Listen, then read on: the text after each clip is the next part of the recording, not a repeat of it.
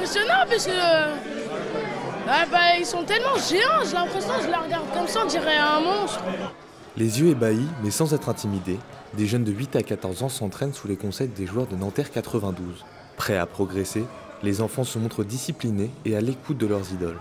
Sous la forme d'ateliers, chaque basketteur gère son groupe de jeunes surmotivés.